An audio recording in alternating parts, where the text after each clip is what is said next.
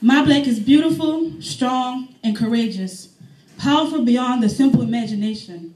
Others look on, their mouths in fascination, because my black is beautiful, strong, and courageous.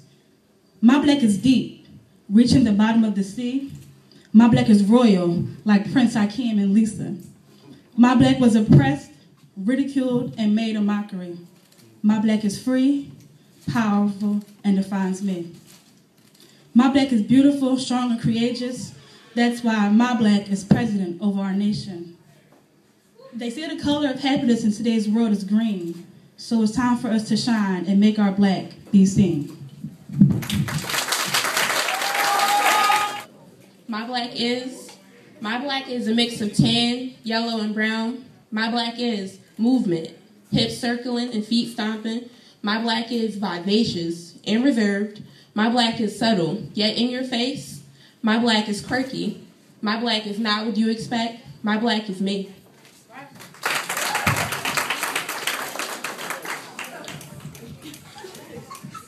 My black is Caribbean and American and very multicultural.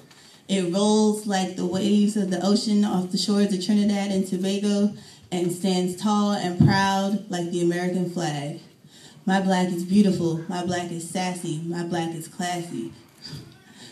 My black is everything from every one of those that came before me. My black is me.